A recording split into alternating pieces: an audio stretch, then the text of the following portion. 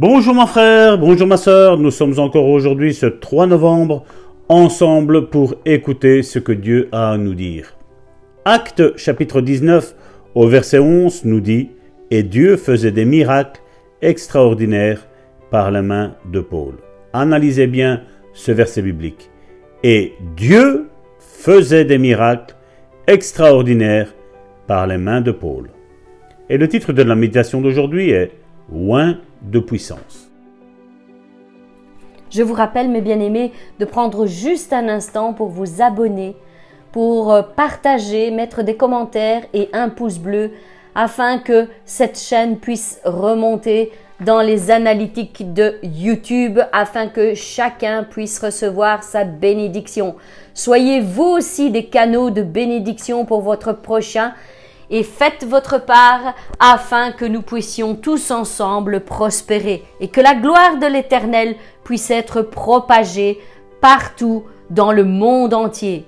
N'oubliez pas que vous retrouverez toutes les informations pour nous contacter en description. Cliquez sur le titre et la description s'affichera sur vos yeux. Soyez bénis mes bien-aimés. Maintenant, nous allons laisser place à cette nouvelle méditation. Nous pouvons apprendre quelque chose des ministères du Seigneur Jésus-Christ et de l'apôtre Paul. On note la ressemblance entre Actes chapitre 19 verset 11 et Actes chapitre 10 verset 38. Selon Actes chapitre 19 du verset 11 à 12, il nous est dit Dieu faisait des miracles extraordinaires par les mains de Paul au point où on appliquait sur les malades des linges ou des mouchoirs qui avaient touché son corps et les maladies les quittaient et les esprits malins sortaient. Et dans Actes chapitre 10 verset 38, il nous est dit Vous savez comment Dieu a oint du Saint-Esprit et de force Jésus de Nazareth, qui allait de lieu en lieu, faisant du bien et guérissant tous ceux qui étaient sous l'empire du diable, car Dieu était avec lui. Beaucoup de gens lisent ces versets sans les étudier à fond et concluent oui, mais il s'agit de Jésus et de l'apôtre Paul. Jésus était le Fils de Dieu et Paul était un apôtre. Ils n'y comprennent rien. Ils affirment Cela ne pourra pas se passer de nos jours, car je ne suis ni Jésus ni l'apôtre. Notez que ces versets ne racontent pas ce que firent Jésus ou Paul, mais ce que fit Dieu. C'est le point d'intersection entre ces deux versets. On voit que c'est Dieu qui agit. Dieu oignit Jésus de Nazareth et ensuite Jésus fit quelque chose de cette onction. Dieu fit des miracles extraordinaires par les mains de Paul. À votre avis, Comment Dieu fait-il des miracles extraordinaires par les mains de Paul? Ben, De la même manière sans doute, en loignant de puissance. Lorsque Paul imposa ses mains à ses linges, ils devinrent comme des accumulateurs de la puissance de Dieu. Et quand ces linges furent appliqués sur le corps des gens, cette puissance se transféra à leur corps. Les maladies s'en allèrent et les esprits malins sortirent. Dieu un des hommes et des femmes de puissance de guérison aujourd'hui. Et n'importe qui peut recevoir cette onction par la foi. Oui, mon frère, ma soeur, par n'importe qui. Parce que Jésus l'a dit dans Marc chapitre 16 du verset 17 à 18, comme Christina l'a bien dit hier, que Dieu a revêtu tout croyant de pouvoir imposer les mains aux malades et que ceux-ci soient guéri. Donc, mon frère, ma soeur, ce n'est pas une élite. Nous sommes des canaux. Nous sommes des vases que Dieu va utiliser pour autrui. Et donc, nous devons nous laisser oindre de ce Saint-Esprit. Et je crois que à partir du moment où nous sommes tous oints du Saint-Esprit, et faire ce qui est mis dans Marc chapitre 16 du verset 17 à 18. Parce que ce n'est pas Salvatore qui le dit, ce n'est pas Karine qui le dit, ce n'est pas Christina qui le dit, pour moi, la Bible est la figure d'autorité. Quand la Bible le dit, et ici en plus, ce sont des paroles de Jésus, c'est Jésus qui affirme que nous imposerons les mains aux malades et ceux-ci guériront. Eh bien, mon frère, ma soeur, moi je dis Amen, Amen et Amen. Trois fois Amen, parce que je sais que Jésus ne ment pas. Je sais que la parole de Dieu ne ment pas. Et cette émission est là pour contrecarrer les plans de l'ennemi qui dit que voilà, Jésus ne guérit plus, Dieu ne guérit plus, le Saint-Esprit ne guérit plus. Nous, nous sommes là pour dire Jésus guérit encore. Parce que grâce à sa meurtrissure, toi et moi, nous sommes guéris. Nous ne sommes plus malades. Nous ne sommes plus possédés. Nous sommes maintenant possédés par l'Esprit Saint, l'Esprit du Dieu vivant qui nous pousse à aller vers tous ceux qui sont mal et pour aller les aider, pour aller les encourager, pour aller les fortifier, leur imposer les mains afin qu'ils soient guéris et prier pour eux pour qu'ils obtiennent eux aussi leur délivrance au nom de Jésus. Amen, amen, amen. Merci Seigneur pour cette parole encore aujourd'hui. Et moi j'aimerais juste rajouter celui-ci dans Luc 10 au verset 19 qui nous dit ceci. Voici, je vous ai donné le pouvoir de marcher sur les serpents et sur les scorpions et sur toute la puissance de l'ennemi, et rien ne pourra vous nuire. Voilà de quelle puissance notre Jésus-Christ nous a revêtus.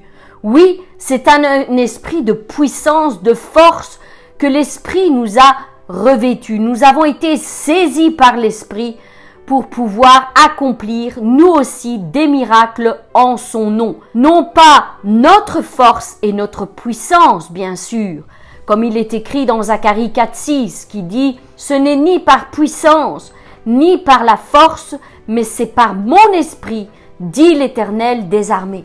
Et mon frère, ma sœur, aujourd'hui, j'aimerais te rappeler que tu es toi aussi revêtu de cette puissance.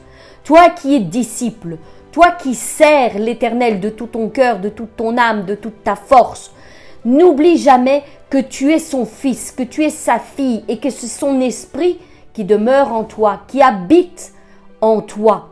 Il est en toi et c'est cette puissance qui ne demande qu'à être exprimée, à être relâchée autour de toi.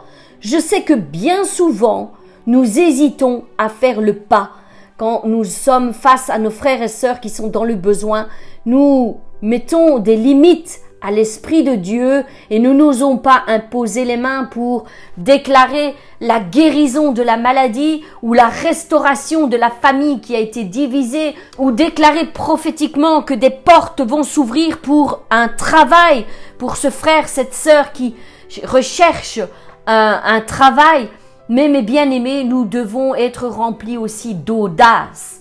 Et nous ne devons pas limiter l'esprit de l'éternel, parce que l'esprit de l'éternel est un esprit qui est sans aucune limite, sans aucune mesure. Il a été déversé en nous lorsque nous avons accepté notre Dieu. Nous avons été revêtus de cet esprit et maintenant il est en nous et il ne demande qu'une chose, c'est de s'exprimer. Commence par ta maison, mon frère, ma sœur, parce que comme nous l'avons lu hier, les disciples ont été revêtus de puissance lorsqu'ils étaient assemblés au nom de Jésus-Christ dans la chambre haute. Ils ont reçu cette puissance sur leur vie. Et Jésus leur a dit, vous serez mes témoins tout d'abord dans votre maison à Jérusalem, dans toute la Judée et dans toute la Samarie et jusqu'aux extrémités de la terre. Ce qui signifie que nous devons commencer par notre propre foyer, mes bien-aimés. Nous sommes revêtus de puissance tout d'abord pour nous-mêmes, pour prendre des victoires dans nos combats, dans nos difficultés personnelles, ensuite pour notre foyer, pour notre famille, pour notre mari, nos enfants, afin que nous puissions déverser cette puissance, cette onction de puissance autour de nous, sur nos proches, et ensuite nous pourrons être qualifiés pour aller plus loin, pour aller dans nos familles, dans, dans notre travail, pouvoir exercer cette puissance partout où nos pieds fouleront la terre. Mais bien aimés, je sais que vous êtes capables d'accomplir des miracles incroyables. Je crois en vous. J'ai foi que l'Esprit de l'Éternel descende sur vous en cet instant, vous saisisse et vous rende capable d'accomplir de grandes choses, de grands miracles. Là où vous êtes, exercez-vous à manifester le royaume de Dieu autour de vous.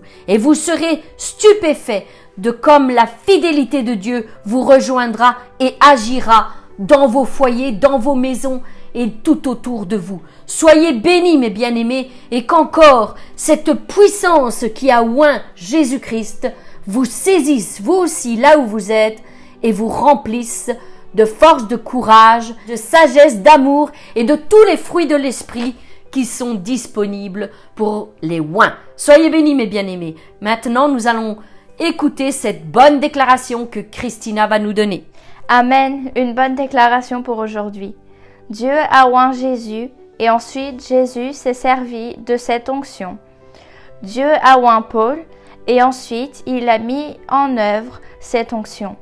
L'onction, la puissance de guérison de Dieu est disponible pour tous. Elle est disponible pour moi. Alors comme tu peux le voir, Jésus et Paul ont tous les deux été oints et ils ont mis cette onction en œuvre. Alors si toi aussi tu es également oint, tu dois également mettre cette onction que Dieu a mise sur toi en œuvre. Non seulement pour toi-même, mais pour les autres premièrement. Utilisons cette onction que Dieu nous donne. Il nous l'a donnée gratuitement à tous. Alors utilisons-la et faisons que cette onction nous serve et serve pour la gloire de Dieu. Ne soyons pas loin juste pour rester assis et rester sur les réseaux sociaux à rien faire et en ne lisant pas la Bible. Mais servons cette onction pour toujours plus devenir bouillant pour Dieu. N'oublions pas que avec cette onction que Dieu nous donne, quand nous la mettons en œuvre, les autres peuvent la ressentir également. Ils peuvent le voir. J'ai eu une certaine expérience à l'école. Il y a quelqu'un qui me regardait. Cette personne, je ne la connaissais pas, mais cette personne me regardait avec un regard tellement méchant que je me suis dit, je sais bien que j'ai rien contre la personne, que je ne connais pas la personne, mais quand j'ai vu ce regard, j'ai reconnu ce regard pas seulement pour la personne qui, qui me le donnait, mais parce que la méchanceté qui était dans ce regard, je l'ai reconnu en fait en l'ennemi. Alors ce n'était pas la personne en soi qui était mauvaise, qui me regardait comme ça, mais c'était l'ennemi. Évidemment, quand nous ne sommes pas de la lumière, forcément, nous sommes des ténèbres. Mais ce que je veux dire par là, c'est que quand nous sommes de la lumière, les personnes dans les ténèbres nous haïssent. Ils voient cette lumière et ils veulent garder cette lumière loin d'eux, de peur d'être éclairés et de découvrir qui ils sont réellement il y a d'autres personnes que j'ai vues également dans, dans, la même semaine qui me regardaient, mais c'était d'une autre manière. Et quand, quand je regardais ces personnes, ces deux personnes différentes, je me disais, cette personne me regarde avec un regard d'amour. Et cette personne, je vois qu'elle voit Jésus à l'intérieur de moi, qu'elle voit la lumière que Jésus dégage de moi. Et quand je vois l'autre personne avec cette, euh, cette haine à l'intérieur, je ne me suis pas sentie mal personnellement, mais je savais que cette personne haïssait qui vivait à l'intérieur de moi. Alors ce que, ce que je veux dire par là, c'est que si des personnes viennent contre vous, parce qu'évidemment elles viendront, Jésus nous a prévenus, mais si ces personnes viennent contre vous, ce n'est pas pour qui vous êtes personnellement, mais pour qui vit à l'intérieur de vous pour la lumière que vous dégagez. Alors il y aura deux types de personnes, comme j'ai vécu, qui viendront, que ce soit de bonnes personnes ou de mauvaises personnes. Mais dans les deux cas, nous ne devons pas partager de la haine, mais au contraire, nous devons avoir de la compassion et être gentils avec eux et partager de l'amour avec eux. Amen. Amen. Alléluia. Merci Christina pour euh, le partage de cette merveilleuse expérience. Et c'est vrai que nous devons reconnaître que celui qui vit en nous brille. Et même si parfois, euh, à cause des épreuves, des difficultés que nous passons, nous ne le voyons pas concrètement de nous-mêmes, nous n'avons pas un bon regard sur nous-mêmes, sachez mes bien-aimés que ceux qui sont à l'extérieur, qui sont autour de vous, eh bien, ils le voient. Ils voient cette onction de lumière qui est sur vous, cet esprit qui dégage un parfum de bonne odeur, comme nous dit la Bible, et ils ressentent s'il y a de la bonté en vous. Ils ressentent quelque chose de différent en vous. C'est ce que produit l'onction de l'Esprit, c'est ce que produit euh, la manifestation de Jésus-Christ en vous. Et c'est merveilleux de pouvoir se rendre compte que Jésus-Christ est aperçu à travers nous dans tout ce que nous faisons, dans tout ce que nous disons, parce que non seulement il le voit, il ressent quelque chose spirituellement qu'ils n'arrivent peut-être pas à comprendre, mais ils peuvent aussi le voir à travers notre comportement, à travers l'amour que nous dégageons, à travers les paroles que nous relâchons, à travers notre compassion les uns pour les autres. Ils le peuvent le voir dans tout cela, dans tous ces domaines-là. Et c'est magnifique. Et lorsque vous avez des combats avec certaines personnes, comme Christina le disait si bien, n'oubliez pas que ces personnes, ce n'est pas vous qu'ils combattent personnellement, mais c'est Christ en vous.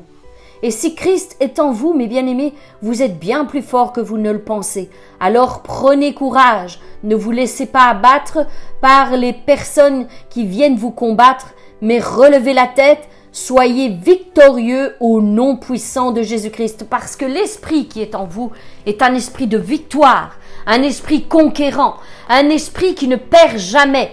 Alors, ne soyez pas découragés, abattus, mais relevez la tête et qu'un large sourire soit arboré sur vos visages parce que vous allez sortir de vos problèmes et de vos difficultés. Vous allez être gagnant, vous allez être vainqueur de tout ce qui vient essayer de vous abattre. Mais bien aimés, encore aujourd'hui est un jour de victoire. Je vous l'annonce. En ce 3 novembre, vous serez victorieux au nom puissant de Jésus-Christ. Vous allez enfin recevoir la guérison de votre maladie au nom puissant de Jésus-Christ. Merci à vous tous de nous être fidèles jour après jour. Je vous souhaite encore aujourd'hui une excellente journée dans les bras du Père et que la gloire de Dieu se révèle dans vos vies. Quant à nous, nous nous retrouvons demain pour une nouvelle méditation. Soyez bénis.